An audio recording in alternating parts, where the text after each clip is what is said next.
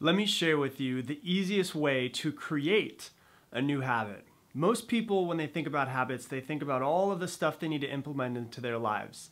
The secret to implementing a new habit and making sure it sticks is to make it as simple and easy as possible.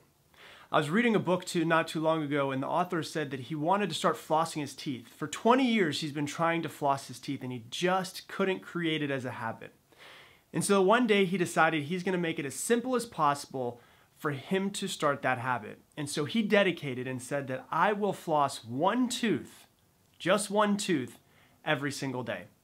And that's all that he focused on was just the one tooth. And what would he do? He'd go and he'd floss one tooth, and then he'd be like, well, I'm, I'm already here. I might as well just finish the rest of the teeth.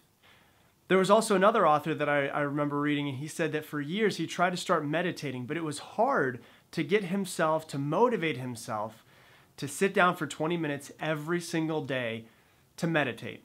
And so what he did was he made a commitment to himself to sit down on his meditation pillow for one minute a day. Not even meditate, just to sit down on it.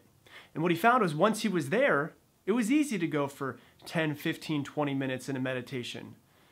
So both of those two, flossing their teeth and meditating, started with a very simple, very easy task.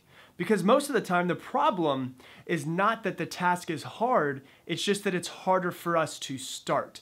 And so, in order to actually make a habit start and stick, is to make it as simple and easy as possible for you to actually get going on that habit.